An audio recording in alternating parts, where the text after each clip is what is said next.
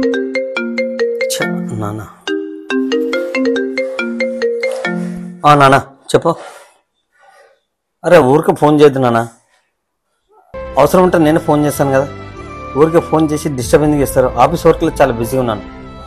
నానా నేను చెప్పేది నానా. నాన్న నాన్న హాయ్ రా పండు. ఏం చేస్తున్నానా ఆమ్ తిన్నావా? బాయ్ నాన్న మమ్మీ ఏం చేస్తుంది పండు?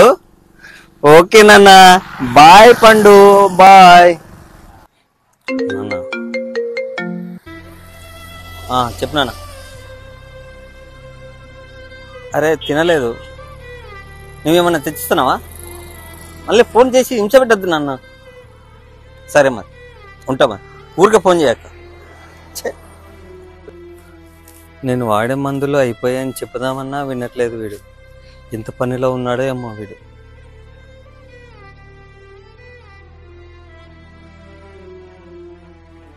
ఎందుకు నాన్న ఫోన్ ఎత్తట్లేదు? నాన్న వచ్చావా? సారీ నాన్న. నన్ను క్షమించు.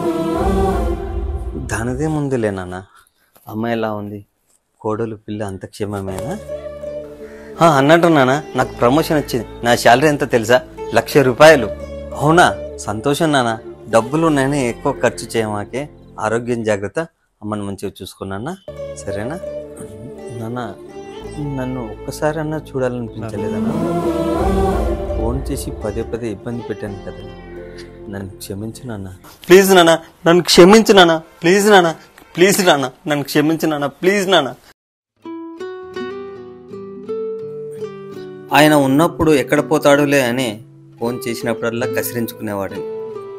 నాన్న పోయాక నాన్న విలువ తెలిసొచ్చిందిరా.